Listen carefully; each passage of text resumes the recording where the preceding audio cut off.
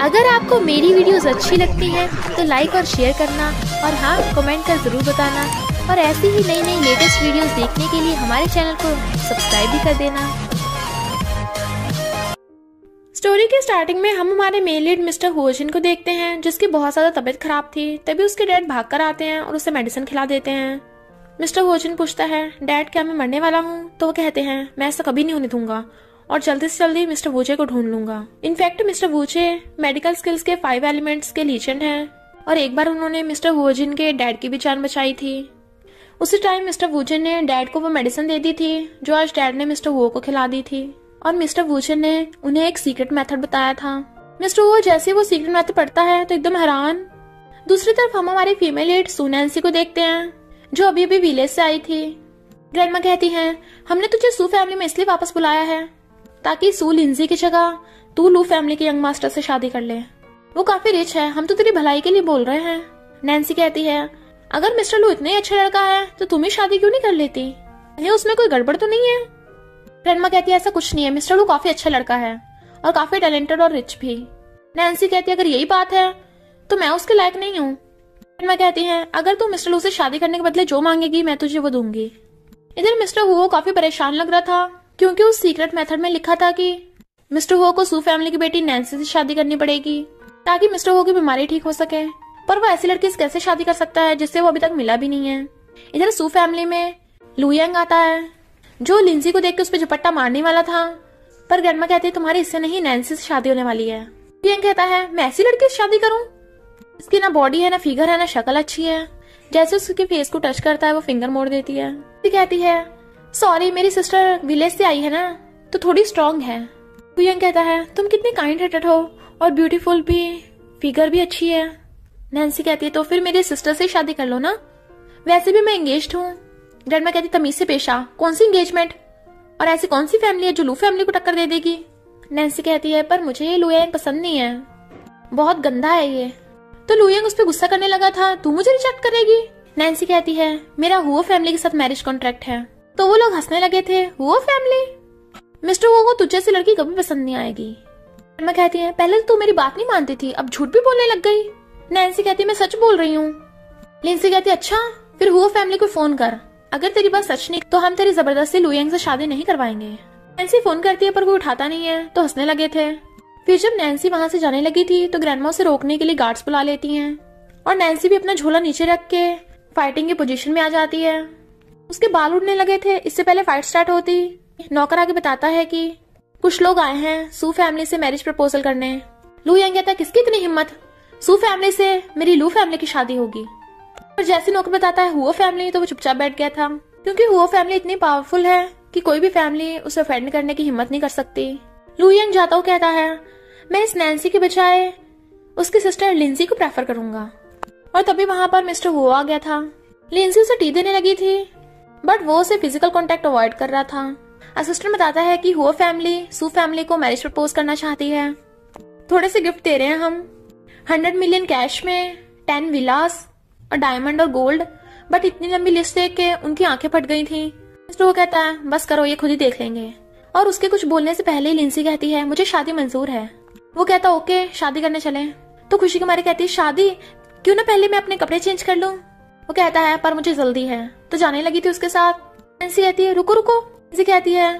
तुझे लुयंग से मिस्टर वो बेटर लग रहा है, इसलिए मुझसे छीन रही है उसे। नैन्सी कहती है, बात वो नहीं है, मुझे इससे कुछ पूछना है। और अपना नोट दिखाती है, क्या ये वो फैमिली तुम्हारा घर है? वो पूछता है, तुम कौन हो? तो बताती है नैन्सी मिस्टर पूछता है तो तुम कौन हो? तो वो कहती है, मैं लिंजी हूँ सू फैमिली की बड़ी बेटी। और ये नैन्सी तो डैड की लेजिटिमेट बेटी है। मिस्टर वो कहता है सॉरी गलती हो गई। नैन्सी चलो मेरे साथ। नैन्सी कहती है मिस्टर वो ये नैन्सी पहले से इंगेज है, पर मैं सिंगल हूँ। इसने तो लू फैमिली से गिफ्ट्स भी ले लिए। नैन्सी कहती है, ये सच नहीं है। मिस्टर वो उसके करीब आता पूछता है, तुम उससे शादी करोगी या मुझसे? नैन्सी कहती है, तुमसे। और मिस्टर वो का हाथ पकड़ के ले गई थी। और बाहर कहती है, ये तुम्हारी कार है, कितनी एक्सपेंसिव होगी? वो कहता है, हमारी शादी होने वाली है तो क्यों ना जान पहचान कर लें? तो नैन्सी उसका हाथ पकड़ कहती है हेलो मैं नैन्सी हूँ। ट्वेंटी वन की। मैं फिजिकली मेंटली और इमोशनली एकदम फिट हूँ। मिस्टर वो कहता है, और मैं तुमसे छह साल बड़ा हूँ। वो कहती है, काफ़ी एज कैप है, पर मैं तुम्हें डिसलाइक नहीं करूँगी। मुझसे शादी करके तुम्हें कोई लॉस नहीं होगा। वो कहता, ओके तो कब शादी करनी है? तो कहती है, कल सुबह। और मिस्टर हो के जाने के बाद ग्रैंड पर चिल्लाने लगी थी। नैन्सी बाय करके जाने लगती है।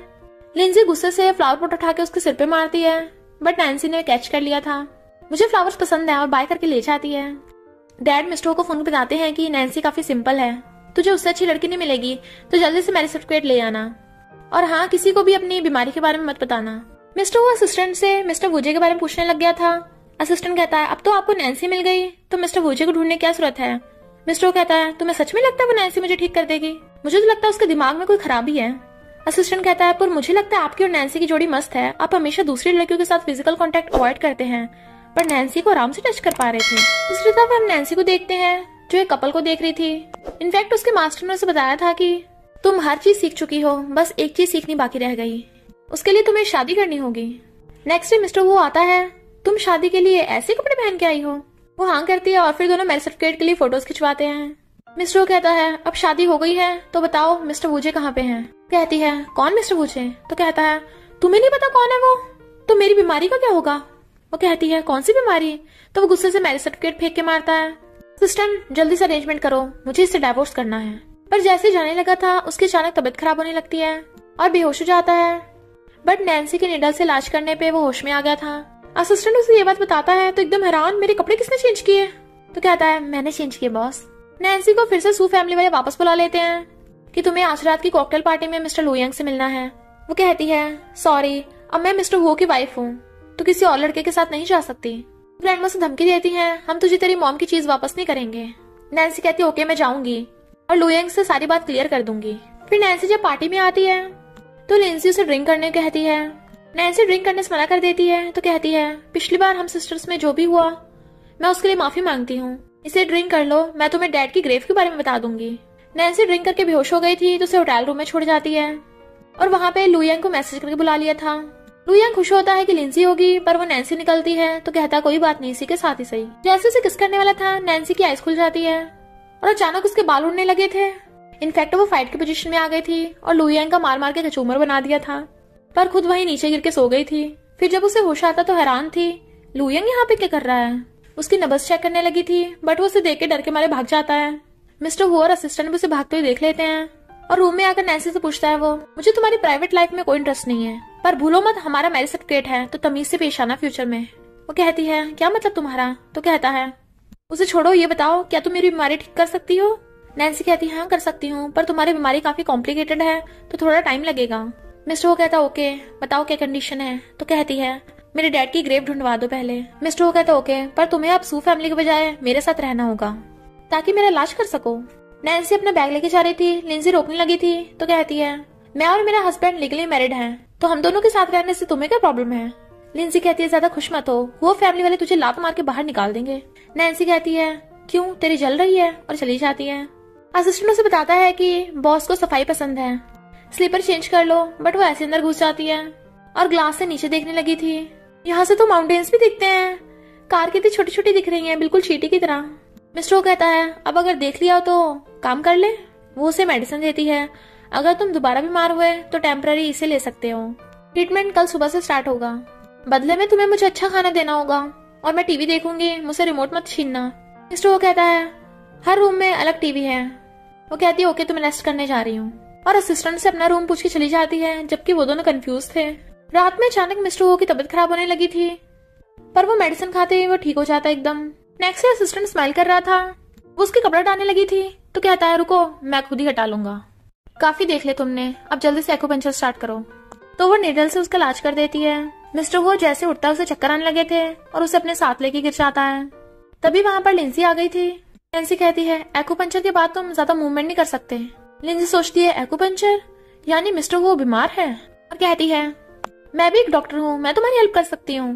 वो कहता है, कोई ज़रूरत नहीं है। बट उसके क्लोज आने लगी थी। नैन्सी कहती है, अभी मैं इसका इलाज कर रही हूँ। तो तुम इसे टच नहीं कर सकती। लिंजी कहती है, अब ये गवार मुझे बताएगी क्या करना है?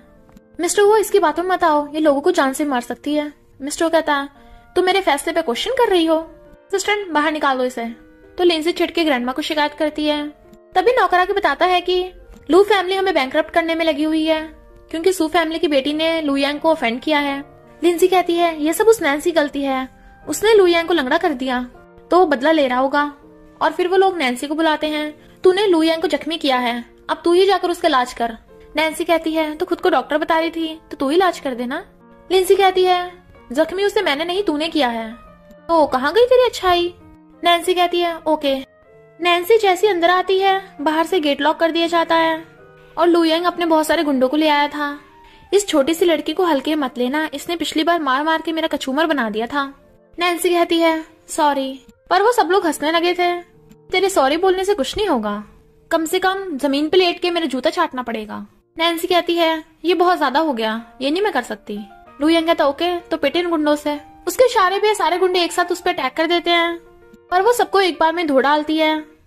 हवा से उसके बाल उड़ने लगे थे।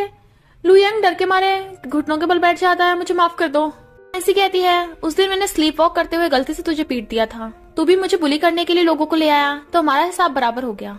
और चली जाती है। फिर वो मिस्टर हुओ के लिए मेडिसिन और हर्ब्स का सूप बना के लेके जाती है कंपनी में।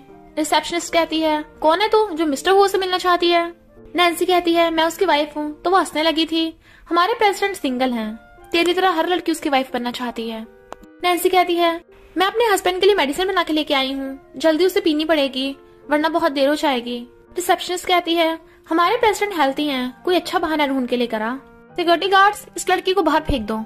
एक सिक्योरिटी गार्ड तो हिला नहीं पाता तो दोनों आ जाते हैं। पर वो दोनों से भी नहीं हिलती।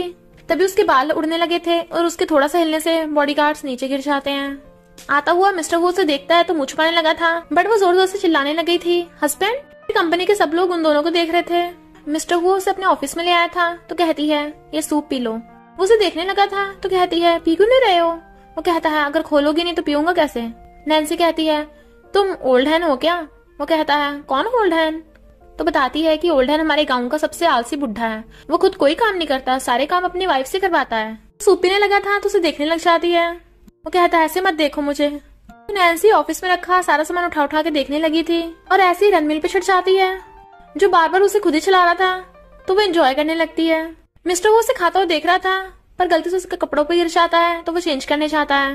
ज़्यादा शरारत मत करना। वो उसके चेयर पे चढ़ के बैठ गई थी, तभी एक एम्प्लॉय कल आती है। तुम प्रेसिडेंट की चेयर पे नहीं बैठ सकती। हमारा प्रेसिडेंट इतना हैंडसम रिच और कूल है। उसे तुम जैसी विलेज कल से प्यार कैसे हो सकता है? नैन्सी कहती है क्यों? तुम्हारा मेरे हस्बैंड पे क्रश है? तो वो एम्प्लॉय कल कहती है, ऐसा नहीं है। और जाने लगी थी। मिस्टर वो उसे ये सैंपल बाहर फेंकने कहता है। बट नैन्सी कहती है, अगर तुम्हारे काम की नहीं तो मैं ऐसे ले जाऊँ और खुद उठाकर ले जाती है। ग्रैंड ग्रैंडमा लिंसी को बताती हैं कि वेंजी जो फ़ेमस फ़ैशन डिज़ाइनर है, तुम उसकी पार्टी में जाकर उससे बातचीत करके रिलेशन बढ़ाना। ताकि वो आगे चलकर हमारे काम आ सके। इधर असिस्टेंट मिस्टर हुओ को बताता है कि वेंसी ने अपनी पार्टी में आप दोनों को बुलाया है, क्योंकि वो हुओ ग्रुप की पार्टनर है। इसलिए मिस्टर हुओ अच्छे से रेडी होकर जाने लगता है। नैन्सिस कहता है, तुमने अभी तक कपड़े चेंज नहीं किए? वो कहती है, मुझे इन कपड़ों में कंफर्टेबल फील होता है। तो कहता है, तुम अब हुआ फैमिली की वाइफ हो। तो पार्टी में आज तुम्हें मेरे जैसे फॉर्मल कपड़े पहन के जाना होगा। समझ गई? वो कहती है, समझ गई। मिस्टर, वो ये बोल के चला गया था कि मैं अपने ड्राइवर को तुम्हें पिकअप करने भेज दूँगा। पार्टी में लेंसी अपने फ्रेंड्स के सामने नैन्सी की बुराई कर रही थी। इतने में मिस्टर, वो भी आ गया था। वे नैन्सी आती है। हेलो हस्बैंड नैन्सी की फ्रेंड कहती है, तू पार्टी में ऐसे कपड़े पहन के आई है? तू फैमिली को एम्बेरस कर रही है। नैन्सी कहती है, मेरे हस्बैंड मिस्टर, वो ने मुझे ऐसे कपड़े पहनने को कहा था। मिस्टर, वो कहता है, मैंने कब बोला? तो कहती है, तुमने कहा था तुम्हारे जैसे कपड़े पहनू। और फिर उसके जैसे हरकतें करने लगी थी। होस्ट सबसे पहले फ़ेमस फाइनलिस्ट को बुलाता है, जो नैन्सी की तरफ़ देख के सिर ला रहा था। लिंसी कहती है, तू ये मत समझ लेना, वो तुझे हेलो कर रहा है। तुझ जैसे गाँव की गवार, सैंग को कैसे जानती होगी? सैंग बहुत अच्छा वायलन प्ले करता है, कि सब लोग क्लैपिंग करने लगे थे। सैंग कहता है थैंक यू मुझे नहीं पता था मैं यहाँ पे अपनी पुरानी फ्रेंड से मिलूँगा। तो क्यों ना वो भी मेरे साथ वायलन प्ले करे? फ्रेंड्स कहती हैं लिंसी वो तेरी बात कर रहा है ना? पर सैंग तो नैन्सी की बात कर रहा था। और नैन्सी वायलन प्ले करती है तो सबके होश उड़ गए थे। और सब लोग खड़े होकर उसके लिए क्लैप करते हैं। पूछता है, क्या बता सकती हो आप कौन हो? नैन्सी बताती है कि, मैं सैंग की सिस्टर हूँ। हम बचपन में साथ बड़े हुए हैं। तभी फ़ैशन डिज़ाइनर वैंसी भी आ जाती है। नैन्सी को देख के वो कर लेती है सिस्टर तू यहाँ पे? और सबको इंट्रोड्यूस करवाती है। नैन्सी ने मेरी, मेरे डिज़ाइन में बहुत हेल्प की है। लिंसी कहती है, ऐसा हो ही नहीं सकता। ये गाँव की छोटी सी लड़की। सैंग और वैंसी को कैसे जानती होगी? बट होस्ट लिंजी को पार्टी से बाहर निकलवा देता है। मिस्टर वो नैन्सी से पूछता है कि, और तुम्हारी कितनी आइडेंटिटीज हैं, जो तुमने मुझसे छुपा के रख रखी हैं? कहती है, मेरी सिर्फ़ एक ही आइडेंटिटी है, कि मैं तुम्हारी वाइफ हूँ। मिस्टर वो कहता है, मुझे अपने सारे सीक्रेट्स बताओ। तो वो बताने लगती है, मैं सोती हुई स्लीप वॉक करती हूँ। मुझे धनिया पसंद नहीं है, पर हॉटपॉट बहुत पसंद है। कहता है, ओके ओके, बस करो। मिस्टर वो देखता है कि नैन्सी कहीं जा रही है तो वो चुपके चुपके उसका पीछा करता है।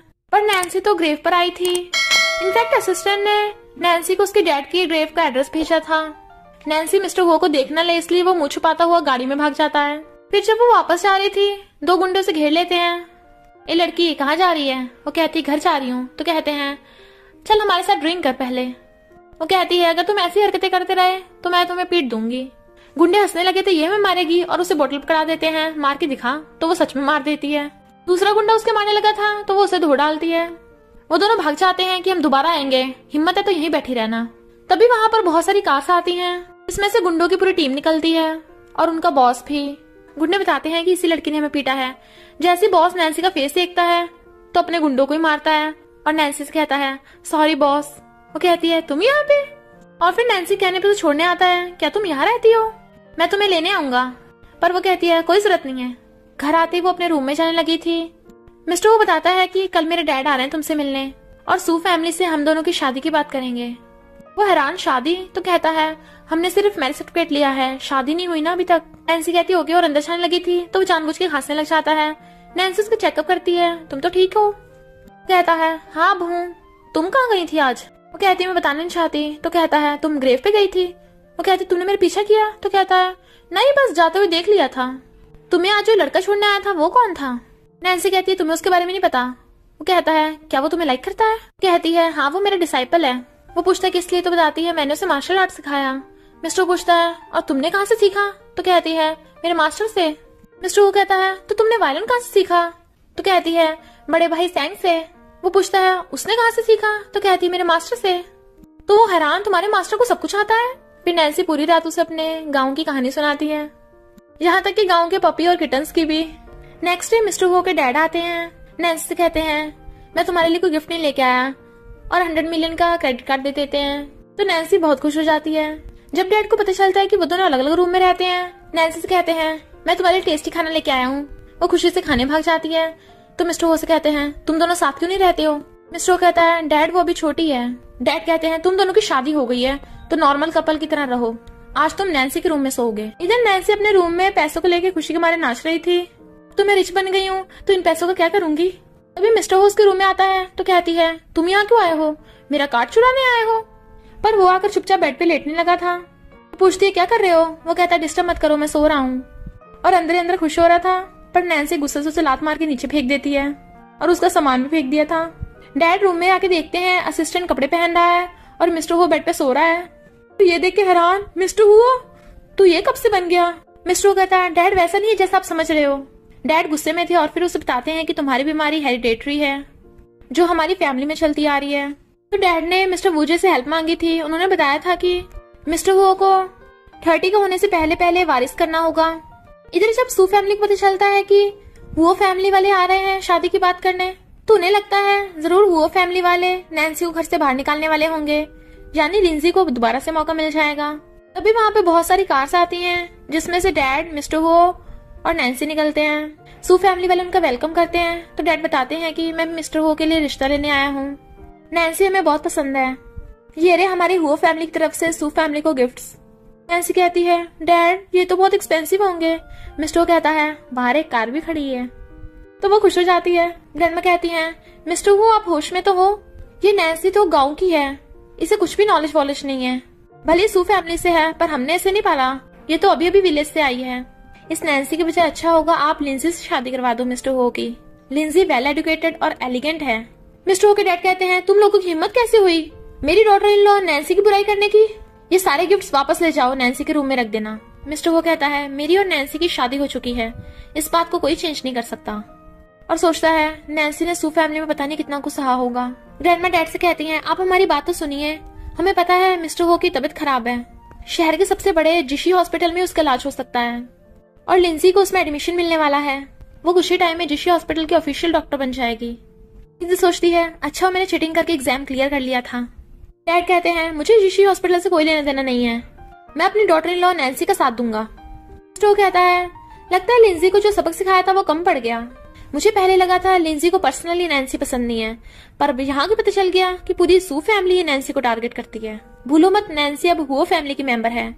नैन्सी बताओ, इन लोगों को कैसे हैंडल करना है? नैन्सी कहती है, मैं फालतू में इस बात को बढ़ाना नहीं चाहती। अगर ये लोग दिल से मुझसे माफ़ी मांग ले तो मैंने माफ़ कर दूँगी। मिस्टर वो कहता है, कोई फ़ायदा नहीं। और नैन्सी को लेके जाने लगा था। ग्रैंडमा कहती है, रुको लिंसी नैन्सी से माफ़ी मांगो। तो लिंसी माफ़ी मांगने लगती है। डैड कहते हैं नैन्सी सू फैमिली ने तुम्हारे साथ बहुत गलत किया है। तब से हु फैमिली तुम्हारा घर है। सू फैमिली वापस आने की कोई ज़रूरत नहीं है। कहती है नैन्सी मैं भी तुमसे माफ़ी मांगती हूँ। और डैड और मिस्टर वो नैन्सी को लेके चले जाते हैं। फिर नैन्सी फ़ोन चला रही थी, तभी डैड आते हैं और उसके लिए बहुत सारी उन्होंने अच्छी अच्छी ड्रेसेस मंगवाई थी। नैन्सी कहती है, डैड, आप बहुत अच्छे हो। डैड कहते हैं तो मेरी बात मानोगी? तो मिस्टर हो के रूम में शिफ्ट हो जाओ। वो हाँ कर देती है और मिस्टर हो से कहती है, डैड ने कहा है, अब से हम दोनों साथ में रहेंगे। और फिर मिस्टर हो के रूम में अपना भी सामान रखने लगी थी और गॉड के स्टैचू से प्रेयर करने लग गई थी। मिस्टर हो कहता है वेल्थ गॉड से प्रेयर क्यों कर रही हो? जबकि शहर का सबसे रिच आदमी तुम्हारे सामने बैठा है। वो कहती है, ये तुम्हारे पैसे हैं, मेरे थोड़ी ना? वो कहता है, ओके, तुम सोफे पे सोओगी या बेड पर? नैन्सी सोफे और बेड को टच करके देखने लगी थी। बेड ज़्यादा सॉफ्ट था तो कहती है, मैं बेड पर सोऊँगी। मिस्टर वो टी शर्ट उतार के उसके क्लोज आने लगा था और किस करने वाला था तो वो धक्का मार देती है। तो कहती है, तुम क्या कर रहे हो? मिस्टर कहता है, अभी तो तुम मुझे इशारा दे रही थी। हम हस्बैंड वाइफ हैं तो क्या करेंगे? नैन्सी कहती है, बात तो ठीक है, पर मुझे कुछ नहीं आता। वो कहता है, तुम चुपचाप लेट जाओ। और फिर मिस्टर वो हिम्मत करके उसके ऊपर लेट के उसे किस करने वाला था बट वो फिर से मार देती है। सॉरी सॉरी अपने आप हो गया। वो किस करने वाला था तो उसकी मुंडी पकड़ लेती है।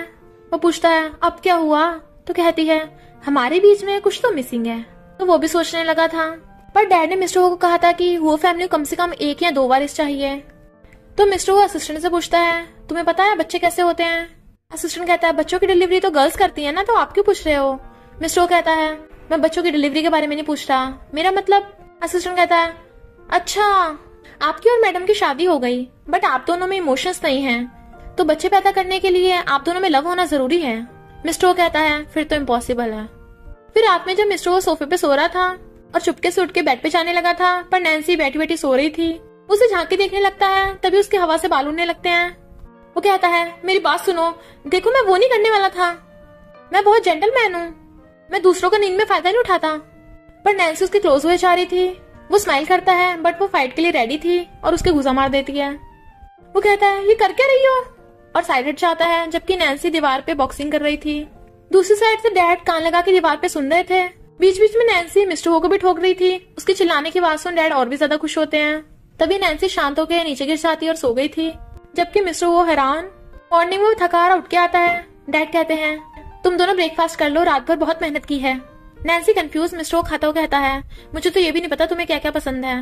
वो कहती है, मुझे पपीज पसंद है। मिस्टर कहता है, और मुझे पपीज सबसे ज़्यादा डर लगता है। तभी असिस्टेंट आगे बताता है कि, कोई मिलने आया है, बोल रहा है आपका फ्रेंड है। तभी जालवन भाग के आता है मास्टर ये मैं हूँ। मैंने भी ब्रेकफास्ट नहीं किया अभी तक। मिस्टर पूछता है, कौन है तू? वो पूछता है, तू कौन है? असिस्टेंट बताता है कि, ये यंग मास्टर है और ये इनकी वाइफ जालवन कहता है अच्छा क्या? मास्टर, आपने शादी कर ली? रोने लग गया था। मास्टर, आप किसी और से शादी कैसे कर सकती हो? तो इस चंपू से शादी क्यों कर ली? मिस्टर कहता है असिस्टेंट इसे बाहर फेंक दो। असिस्टेंट उसे पकड़ के लेके जा रहा था। तो बताता है कि, मास्टर, मैं बाहर आपका वेट करूँगा।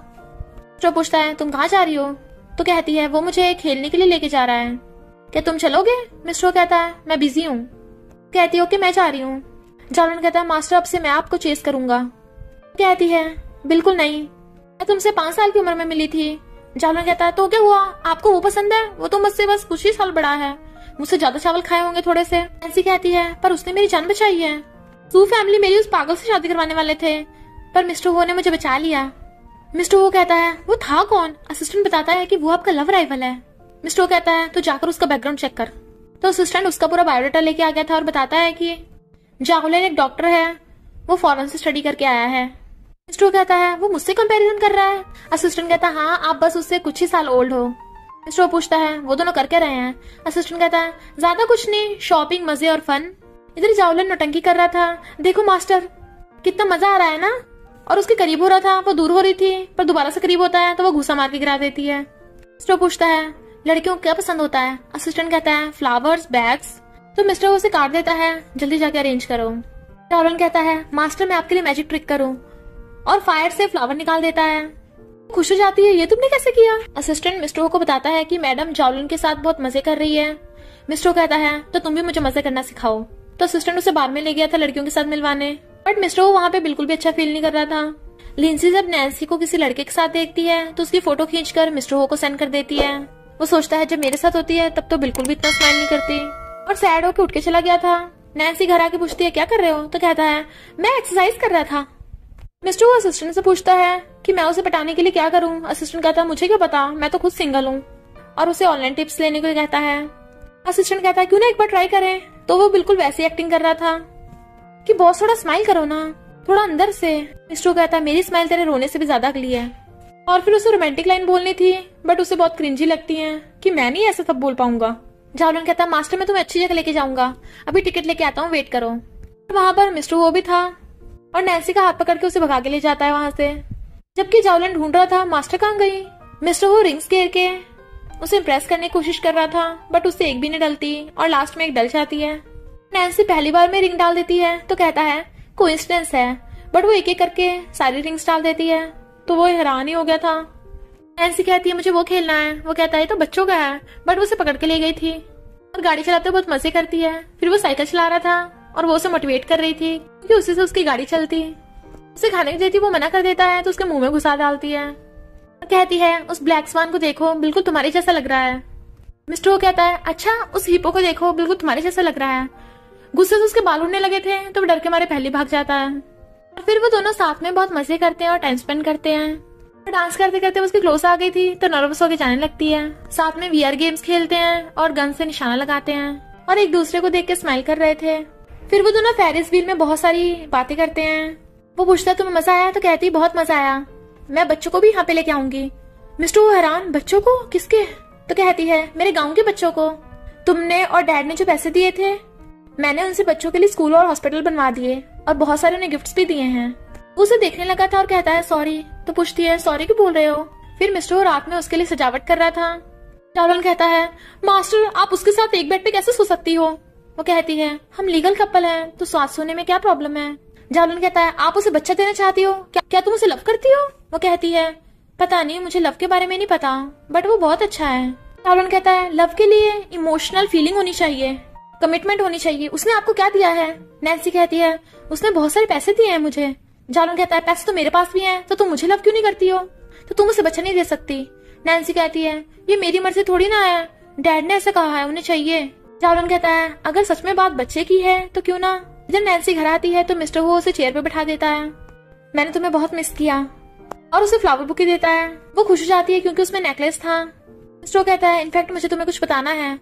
मैंने जब से तुम्हें पहली बार देखा है, मुझे लव हो गया है। मुझे लगा तो मैं सिंगल ही मरूँगा, पर तुम मेरी लाइफ में आई। ऐसे खुश होकर हक कर लेती है, और दोनों किस करने लगे थे। पता चलता है, ये तो मिस्टर वो का सपना था। तभी नैन्सी आती है, अंधेरा क्यों है? लाइट चली गई क्या? और तुमने ये सब मेरे लिए प्रिपेयर किया है? मिस्टर वो से वहाँ पर बैठाकर फ्लावर बुके देता है। नेकलेस देख नैन्सी कहती है, ये डिस्काउंट में मिल रहा था क्या? मिस्टर कहता है इनफैक्ट मुझे तुम्हें कुछ बताना है। वो कहती है, मुझे भी तुम्हें बताना है। मैं तुम्हारे लिए गिफ्ट लेके आई हूँ। वो कहता सच में? वो ताली बजाती है, तभी बहुत सारी गर्ल्स आ गई थी। उसे पकड़ के कहती है, तुम्हें बेबी चाहिए ना? तुम तीनों में से किसी को भी सिलेक्ट कर लो। ये सब तुम्हें बेबी दे सकती हैं। बताओ कौन सी पसंद है? मिस्टर वो गुस्से में तो कहती है, क्या वो तुम्हें पसंद नहीं आई? कल को मैंने और भी ज़्यादा बुलाई है। बट वो गुस्से से उन गर्ल्स को भगा देता है। नैन्सी, तुम पागल हो गई हो क्या? तुम चाहती तुम्हारा हस्बैंड किसी और के साथ बेबी करे? बताओ मुझे, तभी वहाँ पे जावलन आता है। मैंने इसे ये सब करने को कहा है। स्टो कहता है, तू भूत की तरह हर जगह मंडराता रहता है। जावलन कहता है, क्यों नहीं होगा? हम दोनों चाइल्डहुड फ्रेंड्स हैं। तुम मुझसे कंपैरिजन नहीं कर सकता। मिस्टर वो कहता है, भूल मत, नैन्सी मेरी वाइफ है और किसी के घर में घुसना इलीगल है। टॉलन कहता है, तुझे पता है इसे क्या पसंद है? इसकी हैबिट्स क्या है? तुझे बस खुद की फ़िक्र है। स्टो कहता है, नैन्सी, मुझे एक बात बताओ। क्या तुमने मुझे जरा सा भी कभी लाइक किया है? वो कहती है, मुझे नहीं पता। मिस्टर पूछता है, क्या तुम इसे लाइक करती हो? तो कहती है, मैं? मिस्टर कहता है, बस करो। तुमने कहा ना मैं किसी और के साथ बेबी करूँ तो मैं जा रहा हूँ। चलो डाइवोर्स कर लेते हैं। जावलन बड़बड़ाया जा रहा था तो कहती है, तुम शांत होकर नहीं बैठ सकते। तो कहता है, मास्टर, मैं बोलूँगा नहीं अब। इधर मिस्टर वो ड्रिंक करने बार में आ गया था और काफ़ी टल्ली हो चाहता है। वहाँ लेंसी उसे देख लेती है तो ड्रिंक में नशा मिलाकर उसे पिला देती है और फिर उसे पकड़ के रूम में लेके जाने लगती है। वो कहता है, ये मेरा घर नहीं है, मेरी वाइफ घर पे वेट कर रही है। तभी लुयंग आ गया था तो लिंसी मिस्टर हो को रूम में धक्का मार के खुद लुयंग के साथ चली जाती है। मिस्टर हो की हालत खराब थी तो वो फ़ोन से नैन्सी को मैसेज कर देता है। नैन्सी कहती है, तुम्हें पता है मैरियो होटल कहाँ पे है? कहता चलो। वो कहती है, तुम बाहर वेट करो, मैं भी आती हूँ। मैं नहीं चाहती तुम दोनों में फिर से फाइट हो। और रिसेप्शनिस्ट से जाकर मिस्टर हो का रूम नंबर पूछती है, बट रिसेप्शनिस्ट मना कर देती है कि हम कस्टमर की प्राइवेसी ऐसे नहीं बता सकते? तो नैन्सी कहती है, जालून, अब मैं क्या करूँ? जालून कहता है, मुझ पे छोड़ दो। और वो रिसेप्शनिस्ट से जाकर मीठी मीठी बातें करता है तो वो उसे रूम कार्ड दे देती है। तो कहती है, तुम चले जाओ और खुद कार्ड लेके अंदर भाग गई थी। जैसे वो मिस्टर वो के रूम में आती है, वो उसे पकड़ के किस करने लगा था। तो नैन्सी भी किसको एंजॉय करने लगती है और दोनों साथ में नाइट स्पेंड कर लेते हैं। मॉर्निंग में नैन्सी उसे देख के स्माइल कर रही थी और रेडी होके वहाँ से चली जाती है, जबकि बेचारा जावलन भारी सो रहा था। मिस्टर वो को उठने से पहले ही लिंजी आके उस पर लेट जाती है। बट वो उसे देख एकदम हैरान तो कहती है, क्या हुआ? तुम्हें कल रात का कुछ याद नहीं है? मिस्टर वो गुस्से से भगा देता है। क्योंकि उसे कुछ भी याद नहीं आ रहा था। लिंजी सुबह को घर आती है तो ग्रैंडमा से डांटने लगती है तो कल रात कहाँ पे थी? वो बताती है कि मैं मिस्टर हो के साथ थी तो ग्रैंडमा खुश हो जाती हैं कि अगर लिंजी मिस्टर हो के बच्चे से प्रेग्नेंट हो गई तो उसे उससे शादी करनी पड़ेगी। मिस्टर हो छुप छुप के घर आ रहा था। जैसे वो आसक आती है, वो डर जाता है। नैन्सी कहती है, मैंने तुम्हारे लिए मेडिसिन बनाई है। वो कहता है, ओके, कल जो भी हो उसके लिए तुम गुस्सा तो नहीं हो? वो कहती है, बिल्कुल भी नहीं तो कहता है, तुम्हें भूख लग रही होगी, अच्छे से रेस्टोरेंट में चलते हैं। और तुम अपने माउंटेन्स की तरह और जगह बताना, हम साथ में घूमने चलेंगे। नैन्सी कहती है, क्यों, तुम्हें काम नहीं है? वो कहता है, मैं काम करते करते थक गया हूँ, थोड़े दिन साथ में वेकेशन पे चलेंगे। नैन्सी खुश होकर उसके लिए मेडिसिन ला के देती है और खाते हुए उसे देखने लग गई थी। अब तो मैं तुम्हें अच्छे से जान गई हूँ। मिस्टर हैरान क्या? तो कहती है, मेरे मास्टर ने मुझे माउंटेन से इसलिए भेजा है ताकि मैं इस फीलिंग को फील कर सकूँ। आई लाइक यू तो मिस्टर वो उसे पकड़ के हक कर लेता है। तभी असिस्टेंट आगे बताता है कि सू फैमिली वाले आए हैं। ग्रैंडमा कहती है हु फैमिली को हमें रिस्पॉन्स देना पड़ेगा। मिस्टर वो ने लिंजी के साथ नाइट स्पेंड की है। डैड कहते हैं, मिस्टर वो, क्या ये सच है? लिंजी नाटक करने लगती है। मिस्टर वो ग्रैंडमा को बताना नहीं चाहती थी, पर मेरे लेट आने से उन्हें पता चल गया। ग्रैंडमा कहती है, मैं चाहती हूँ मिस्टर वो अब लिंजी से शादी कर ले। इसके लिए तुम्हें नैन्सी से डिवोर्स करना होगा। मिस्टर वो कहता है इम्पॉसिबल अगर मैं नैन्सी से डिवोर्स भी कर लूँगा, तब भी इस लिंजी से शादी नहीं करूँगा। नैन्सी सोचती है। इसने कहा कि ये मुझसे डिवोर्स कर लेगा और उठ के चली जाती है। सू फैमिली के जाने के बाद डैड कहते हैं, ये तुम दोनों के बीच की बात है। तो खुद ही सॉल्व करो। नैन्सी कहती है, मुझे तुमसे डिवोर्स करना है। मैं माउंटेन्स पे वापस जाना चाहती हूँ। वो उसे रोकता है बट वो गुस्से से उसकी गर्दन पकड़ करके उसे उठाने लगी थी। बट फिर छोड़ के चली जाती है और रो रही थी, जबकि दूसरी तरफ़ मिस्टर हो की तबीयत खराब हो गई थी। कि डॉक्टर भी कुछ नहीं कर पा रहे थे और बताते हैं कि अब तो जिशी हॉस्पिटल का डॉक्टर जाओ ही इसे बचा सकता है। डैड कहते हैं असिस्टेंट उसे जल्दी लेके आओ. इधर नैन्सी अपने मास्टर के साथ खाना खा रही थी और उन दोनों की लास्ट पीस पे फाइट होने लगती है। मास्टर छीन लेता है तो वो रोने लग जाती है। मास्टर लव बहुत कॉम्प्लिकेट है। तुमने कहा था मैं अपनी डेस्टिनी से मिलूँगी और मैं उसे बहुत लाइक करती हूँ। और उसे तो सिर्फ़ मेरे साथ बच्चे चाहिए, वो मुझे लव नहीं करता। मास्टर कहते हैं, ज़रूरी नहीं लव हमेशा खुशी दे। कभी कभी ये बहुत दर्द भी देता है। और गायब हो जाते हैं। फिर असिस्टेंट नैन्सी से मिलने आता है और बताता है कि मैं मिस्टर वो के साथ बचपन से रहा हूँ। मुझे उसके बारे में अच्छे से पता है। वो अपनी मॉम को बहुत लव करता था, पर उसकी मॉम की डेथ के बाद उसकी लाइफ एकदम चेंज हो गई। उसे लगता है कि वो जिससे भी लव करता है, वो उसे छोड़ के चला जाता है। इसलिए वो आपसे बहुत लव करते हैं, पर कभी बताते नहीं। पता है, यंग मास्टर ने आपको खुश करने की कितनी कोशिश की है? वो तो आपके लिए फायर से फूल बनाने वाला जादू भी सीख रहे थे। और उस टाइम वो आपको देख के छुपाने लग गए थे, और झूठ बोला था कि मैं एक्सरसाइज कर रहा हूँ। मैंने आज तक यंग मास्टर को किचन में नहीं देखा। पर आपके लिए वो खाना बना रहे थे। उनके हाथ में भी चोट लग गई। और जब आपने बोला था कि आपको पपीज पसंद है तो मिस्टर हो ने मुझसे पपी मंगवाया था। भले उन्हें उससे डर लगता था, पर फिर भी पपी के साथ रहने की कोशिश कर रहे थे। मैंने रीजन पूछा तो कहा कि क्या पता वो फ्यूचर में पपी अडॉप्ट करे। और बहुत सारी चीज़ें तो ऐसी हैं जो मैंने भी नहीं नोटिस की। उस दिन आप गंदे शूज़ लेके घर में घुस गई थी। मैं आपको मना करने वाला था, पर यंग मास्टर ने मुझे रोक दिया। और स्माइल करते हुए आपको देख रहे थे। और आप जो रनिंग मिल पे हरकतें कर रही थी, उसे देख के स्माइल कर रहे थे। फिर हम देखते हैं कि मिस्टर वो हर रात को उठता था तो उसे पता चल गया था कि नैन्सी स्लीप वॉक करते हुए फाइटिंग करती है। तो वो पहले ही दीवार पे पिलो कर देता था, ताकि वो ठुके ना, और दीवार की बजाय पिलो पे घुसे मारे। उसे तो इतनी प्रैक्टिस हो गई थी कि नैन्सी जब गिरने वाली होती थी, वो उसे कैच कर लेता था। हर बार वापस बेड पे सुला देता था।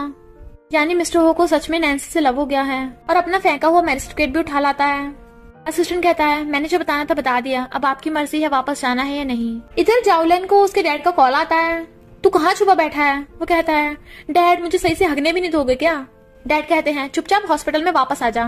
वो फैमिली में गड़बड़ हो गई है। पूछता है, क्या हो गया? तो कहते हैं, क्या तू वो फैमिली को जानता है? जावलन कहता है, जानता नहीं हूँ, नफरत करता हूँ बहुत। डैड कहते हैं, बकवास बंद कर। तुझे मिस्टर होगा, इलाज करना होगा। उसकी बहुत ज़्यादा तबियत खराब है। वो फैमिली ने हमारी बहुत बार हेल्प की है तो इस पर हमें उनकी हेल्प करनी है। जावलन सोचता है, मिस्टर वो मर जाएगा तो मैं मास्टर से आसानी से शादी कर लूँगा, पर डॉक्टर होने के नाते मुझे उसे बचाने पड़ेगा। और फिर मिस्टर वो का इलाज करने चाहता है, और फिर मिस्टर वो को चेकअप करके बताता है कि ये नहीं बच पाएगा। डैड कहते हैं, ऐसा मत कहो, इसे बचा लो।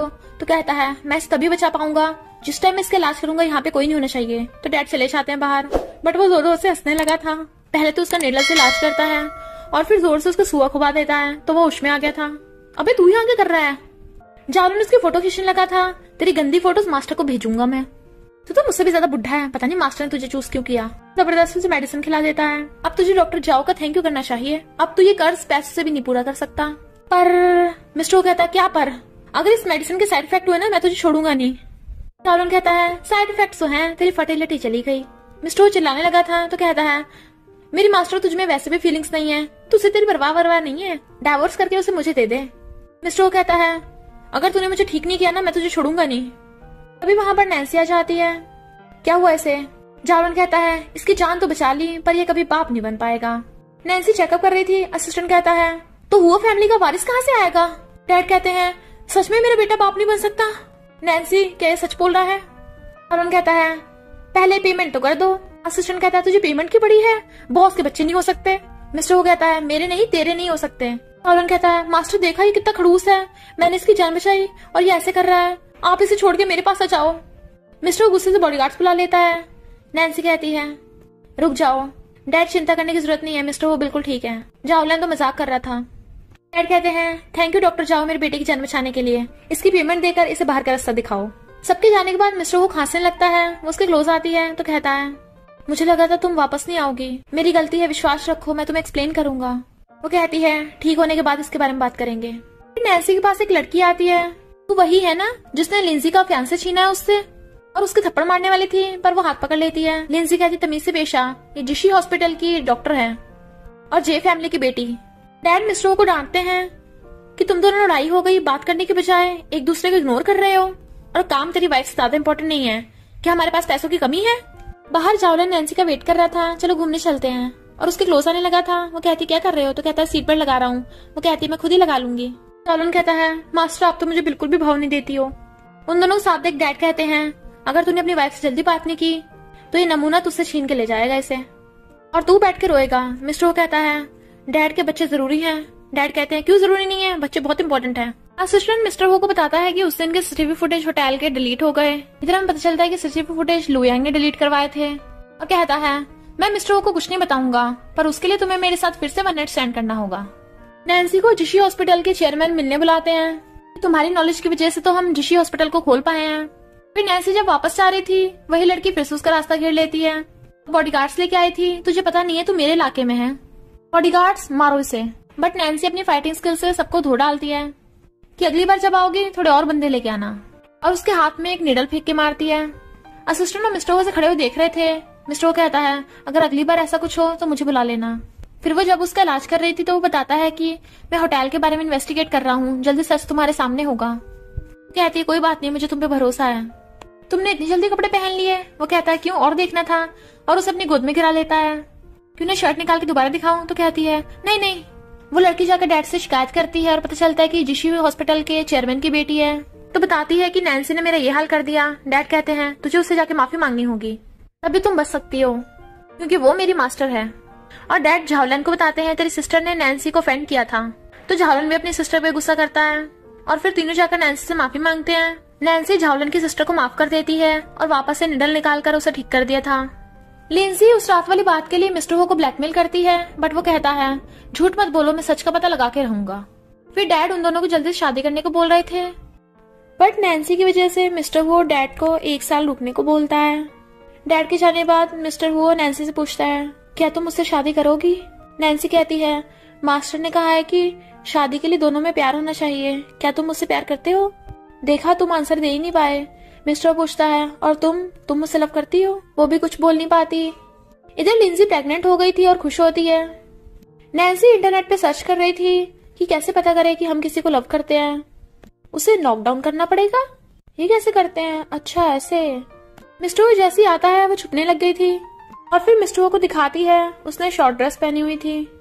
मिस्टर उसे देखते रह गया था और फिर गोद में उठाकर उसे बेड पे लिटा देता है। तो दोनों किस करने लगे थे? फिर नैन्सी उसे बताती है कि, मैं चेक करना चाहती तुम मुझे लव करते हो, नॉकडाउन करके। मिस्टर कहता है, लव चेक करने का ये तरीका नहीं है। जिससे लव करते हैं, हम उसके साथ रहना चाहते हैं, और मैं तुम्हारे साथ रहना चाहता हूँ। फिर नैन्सी के मास्टर उनसे मिलने आते हैं। मिस्टर वो एकदम हैरान था। कि ये तो मिस्टर वूजे हैं बट मास्टर तो नैन्सी को वो फैमिली से वापस लेने आए थे, क्योंकि मिस्टर वो का लिंजी के साथ अफेयर चल रहा है। डैड भी मिस्टर वो पे गुस्सा करते हैं, तभी वहाँ पे ग्रैंड माँ लिंजी को लेके आ जाती है कि लिंजी मिस्टर वो के बच्चे से प्रेग्नेंट है। बट मिस्टर वो असिस्टेंट को बुला के प्रूफ दिखाता है। उस रात के होटल की सीसीटीवी फुटेज लिंजी ने मिस्टर हो के साथ वन स्टैंड नहीं किया था। उस रात लिंजी मिस्टर हो के साथ नहीं लुयांग के साथ थी। क्योंकि मिस्टर हो का वन नाइट स्टैंड तो नैन्सी के साथ हुआ था। लिंजी ग्रैंडमा से माफ़ी मांगती है, पर ग्रैंडमा उसके थप्पड़ मार देती है। मिस्टर वो नैन्सी आकर पूछता है, तुमने मुझे उस रात के बारे में क्यों नहीं बताया था? वो बात मेरे लिए बहुत इंपॉर्टेंट थी। मैंने भी पहली बार किसी से प्यार किया है, मैं भी पहली बार जेलस हुआ था। नैन्सी भी स्माइल करते उसका हाथ पकड़ लेती है तो उसे अपने साथ ले जाता है। और फिर वो सू फैमिली की ग्रैंडमा से अपनी मोम की निशानी ले जाती है। मास्टर फिर से नैन्सी को वापस विदेश लेके जाने लगे थे। मिस्टर वो माफ़ी माँगता है, और नैन्सी भी। कि हम सच में एक दूसरे को बहुत लव करते हैं। और नैन्सी बताती है कि मैं प्रेग्नेंट हूँ। तो मिस्टर वो बहुत खुश होता है और बाकी सब भी। और इसी के साथ इस स्टोरी का एंड हो जाता है। अगर आपको ये स्टोरी पसंद आई हो तो लाइक शेयर और कॉमेंट करते जाना। तो बस थोड़ा सा इंतज़ार करना। फिर मिलेंगे न्यू स्टोरी में।